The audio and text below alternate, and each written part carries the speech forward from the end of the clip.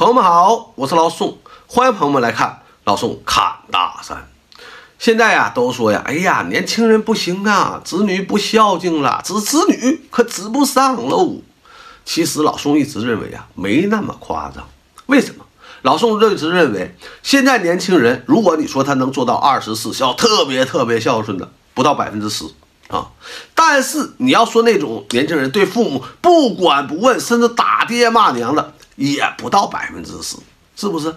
还有百分之八十的大多数，还其实还是能做到相对孝敬老人的，还是管你的，是不是？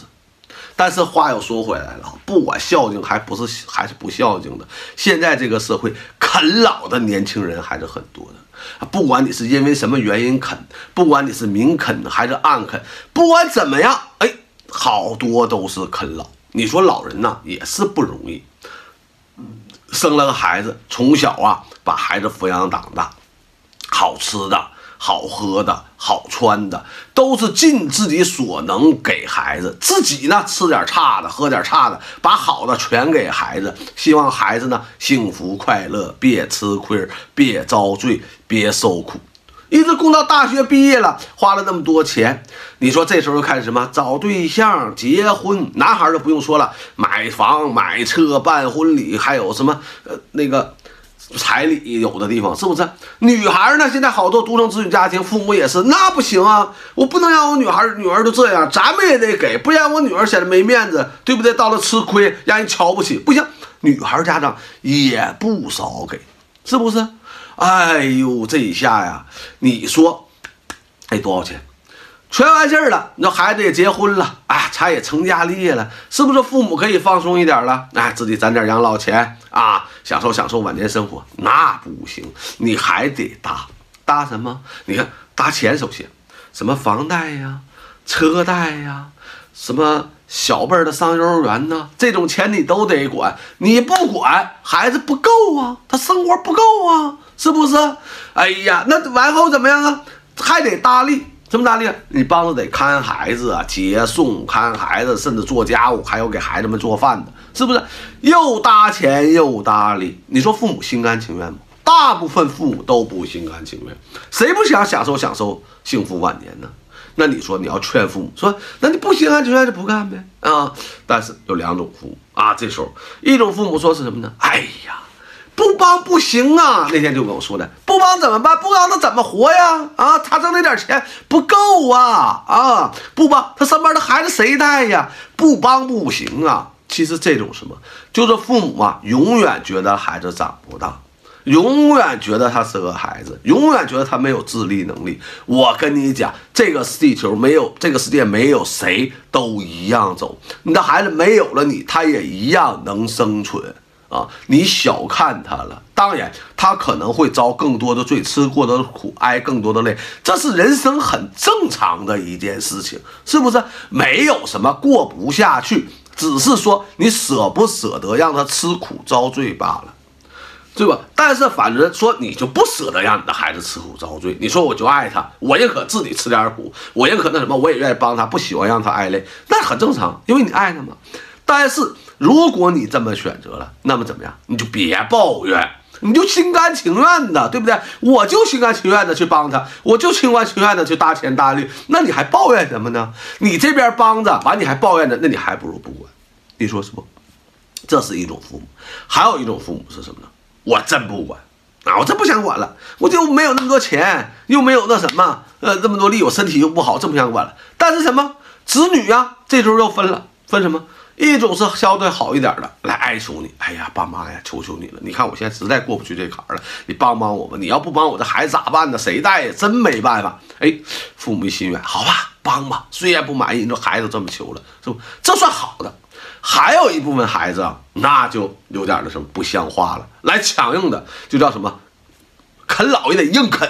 啊，说这这这个啃老我得硬啃啊，我得我还挺不乐意的脾气暴。这有什么呢？呃，我最看不惯的是两种，哪两种呢？第一种就是有的儿媳妇儿啊，那阵儿搁网上还有一个跟我说的，这个头前和我说的啊，跟我说什么呢？啊，怎么的？婆婆公公带孩子带小辈就是应该应分的，他们就应该带。这就是他们的责任，他们的义务。感什么恩？凭什么他们不带？他们自己家种姓他家姓就该他带啊！我说你不感恩吗？父母都感，我感什么恩呢？应该的啊！他不干了。哎呦，我的天哪！我听这话真的，他来个不管，凭啥不管呢？那是你孩子，那是人家孩子啊！哪个规定的义务说父母还得给带孙辈儿，还得那什么不管不行？那是不是你儿子？是不是你姑娘啊？啊，怎么做妈的呀？我都纳闷，就这样做父母的，哎呀，我我我生气，不说了，不说了。说这样的，我就觉得哈，我反正觉得什么人呐，我一直认为可能说父母有时候也有问题啊，婆媳之间的问题。但是碰到这样的儿媳妇，那我就觉得父母没啥问题了哈。我还觉得什么人呐，挺要脸，是不是？哈，这样。还有另一部分呢，就是第二种，我不不太满意，就什么子女的父母。我告诉你啊，你今天不帮我。啊！你不给我出钱，对吧？你不给我出力的，以后老了别怪我不养你啊，是不是？我跟你们说，你们真敢说，法律规定义务，你说不养就不养啊？啊，真敢说。那咱们先不说他养不养，咱就说，当父母遇到了这第二种，第一种咱就不说了那种啊，咱就说这个第二种，跟父母趾高气扬的说，你老了我不养你，你不管我，那么父母该怎么办呢？父母应该怎么办？父母是不是就说：“哟，他不养我，我害怕了，我我还得管吗？是应该这样吗？”咱们聊一聊，好不好？哎，咱说这个啊。首先，我认为你要估量自己，就算他说这个话了，你到底有没有这个经济实力和你的健康身体？你能不能支撑了去管？你支撑不了，怎么样？硬管呐？啊你把钱全给他搭了，自己连一个肉都不舍得吃啊！自己就吃糠咽菜啊！你身体这疼那也疼，医院都不准，完就跟帮他干孩子，累的一天腰酸腿疼的，身体全是病啊！你有这个能力没有？你先说一说。打个比方说，你如果你有没有这个能力，钱又花了了，身体又不行，身心情带郁闷，你都活不到老，你还考虑他给你养什么老？你认为是这个道理不？嗯啊，你想一想，这是第一个，第二个，我想跟所有的老人说，你们要明白，你没有这个义务，对不对？你的义务已经尽完了，帮当然是人情，不帮也是正常的，这个是可你的心。其实呢，如果遇到好儿女，你帮他们一把，儿女是会感恩的。这个时候，大家会其乐融融的，对不对？因为他知道感恩，他知道父母这么做付出了辛苦不容易。哎呀，他们很理解父母，他们感恩父母，那他们会对父母也好，让父母心情愉快，嗯，这才能有个好结果。那么你帮他，他都不知道感恩，他觉得你是应该应分的时候，你还帮什么？不感谢你，你帮一个人忙，人家就来，对，你就应该的吧？那，你想一想吧，是不是这个道理？第三个是最重要的，我跟你讲，一个能说出这种话的子女，你以为你现在倾其所有了，付出所有了，他就能养你老，他就能孝敬你？他如果能那样，他就说不出这种话来。我告诉你啊，不说这种话的人，子女他不一定能孝敬你。确实，他不说他也不一定能孝敬。但是能对你说出这些话的子女，他一定不会孝敬你，这个是百分之百的。你听说哪个以后挺孝敬的子女，这个时候跟那什么跟父母说，姥姥我不养你啊？我告诉你不这么做，这样的子女，你告诉我，你老了他会孝敬你？就算你付出了所有，倾其所有，他也会找出一大堆的理由来不孝敬你。你想一想吧，是不是这个道理啊？我我跟你说啊，呃，子女教育成这个样子，首先有你做父母的责任，对不对？咱得承认，那说明你的父母教育的不好。